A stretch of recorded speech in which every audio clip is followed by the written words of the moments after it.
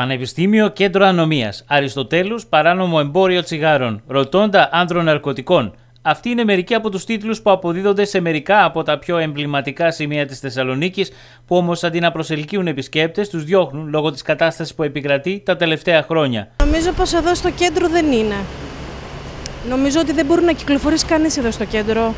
Ιδίως με τους μετανάστες, φοβάσαι. Εδώ μέρα μεσημέρι και πήγαν να πάρουν τσάντα από μια κοπέλα. Το τελευταίο διάστημα έχει αστυνόμευση από ό,τι βλέπω στον δρόμο. Ε, αλλά ασφάλεια δεν υπάρχει γιατί έχει γεμίσει ξένους και υπάρχει βία, υπάρχει πρόβλημα γενικά. Καμάρα, πλατεία Ναβαρίνου, ξηροκρίνη πίσω από το σταθμό. Ε, εδώ στην Αριστοτέλους που πουλάνε τσιγάρα. Γενικά υπάρχει, υπάρχουν ξένοι χωρίς χαρτιά και Υπάρχει φόβος, υπάρχει φόβος. Οι Θεσσαλονικοί σίγουρα δεν αισθάνονται ασφαλείς στην πόλη τους, καθώς στα πιο κεντρικά σημεία παρατηρείται παραβατική συμπεριφορά. Το τι είδαμε προχθές εδώ με τα μάτια μας.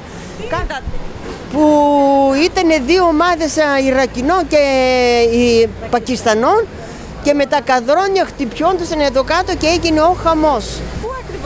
Πού ακριβώς έγινε; Ε, Αριστοτέλους, Αριστοτέλους ε, μπαίνοντας δεξιά από εδώ κάτω το πρώτο στενό. Με τόσους Πακιστανούς και μετανάστες που κυκλοφορούν φυσικά και δεν είναι ασφαλείς. Σε ποιες περιοχές εστιάζεται το μεγαλύτερο πρόβλημα; Πλαιτήρι στο τέλος και Καμάρα. Δεντροπόταμος που έχει γίνει γκέτο, σταθμός, πανεπιστήμια, ακόμη και Αριστοτέλους.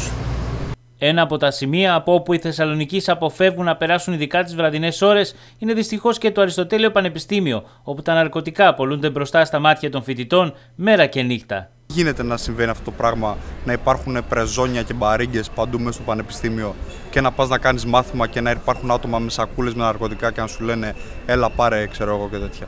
Και υπάρχουν παιδιά που φοβούνται να μπουν μέσα στο πανεπιστήμιο, ας πούμε, και να περάσουν να πάνε να κάνουν μάθημα μετά τις 8 η ώρα το απόγευμα. Θα έπρεπε να υπάρχει έλεγχος με τον ίδιο τρόπο που μπαίνουμε με σηματάκι του Πανεπιστημίου τα, τα οχήματα μέσα στο Πανεπιστήμιο.